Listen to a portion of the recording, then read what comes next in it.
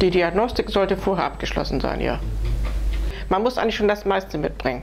Was nochmal gemacht wird, der Arzt untersucht einen nochmal und äh, es wird nochmal eine Blutabgabe gemacht. Nein, es gibt eine Eingangsuntersuchung, die ist ganz normal.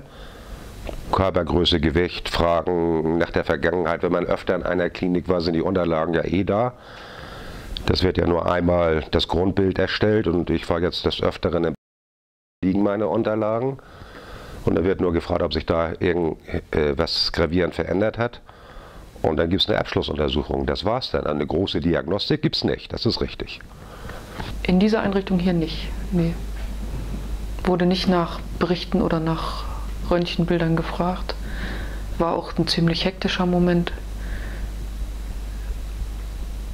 Und ähm, war von meiner Seite jetzt auch nicht, ähm, es hätte gerne länger und ausführlicheres Gespräch bei der Aufnahme gegen, geben können.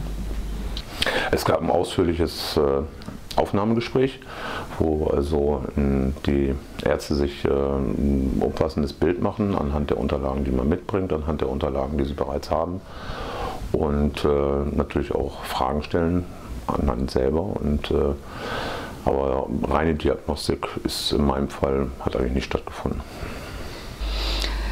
Nein, das hat eigentlich nicht so stattgefunden. Okay, es gab meistens, glaube ich, äh, Blutabnahmen. Aber Röntgenbilder und sowas sollte man mitbringen, wenn das erforderlich war? Nein, gar nicht. Nur ein Gespräch mit dem Arzt, Stationsarzt, also für, diese, für, diese, äh, für dieses Haus oder für die, für die Etage. Blut abgeben. Also es gab ein Arztgespräch, aber das bezog sich im Wesentlichen auf den vorher ausgefüllten Fragebogen über die Vorgeschichte.